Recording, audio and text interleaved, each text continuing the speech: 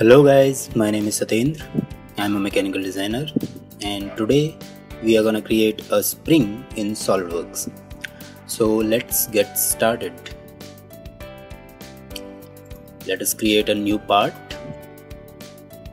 and to create a spring we need to create a circle that will define the diameter of the spring.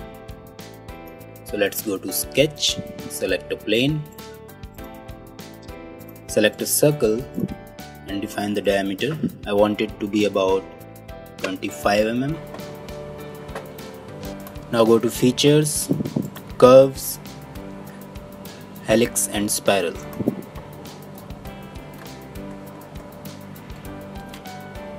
And you get three different options to create the helix.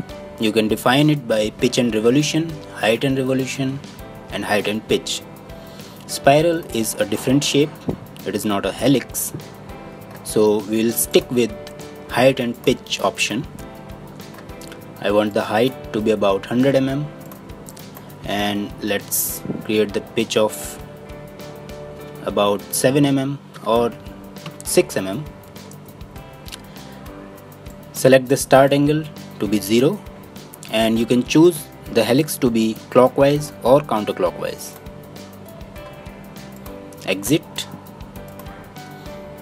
You have the curve for the spring now and now we'll define the wire diameter of the spring. So let us create another sketch in the right plane. Go to circle. Define the diameter for the wire dia. I want it to be about 2 mm and I will pierce the center point of the circle with the curve. Now it is fully defined.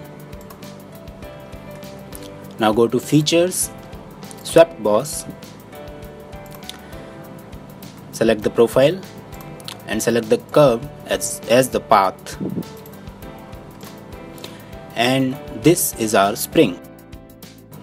Now this spring is a kind of uh, ideal spring. This is not a real world spring because it has the same pitch throughout its length.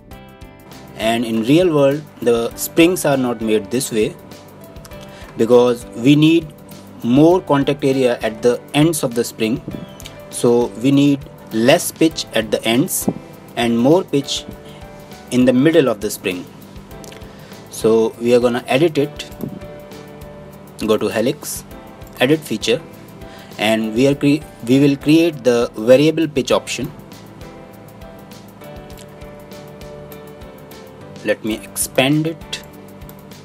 And here you can see the different options that we can change the height the pitch the revolution that is derived by the height and pitch and the diameter.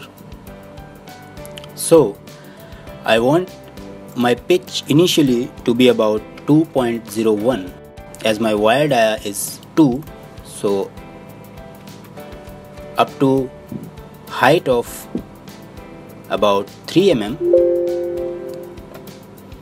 then up to height of about 5 mm I want the pitch to be increased to 6 mm again.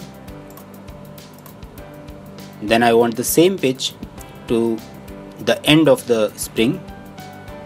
So let us create it up to 95 mm. Give the pitch to 6 mm. Then again up to 97 reduce the pitch to 2.01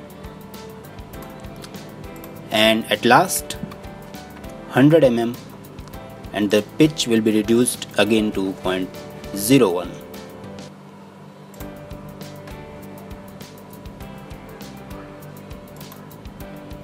So now as you can see the spring has less pitch at both the ends and more pitch in the middle. Now we can also create a cut just to make it more physical spring We'll cut the ends of the spring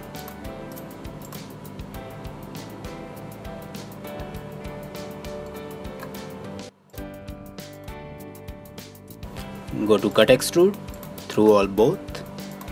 I'm not fully defining it because I just want to show you the surface contact area.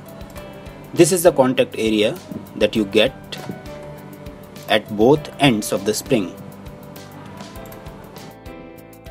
So this is our final spring. You can go to the photo view 360 now and you can add the material for the spring.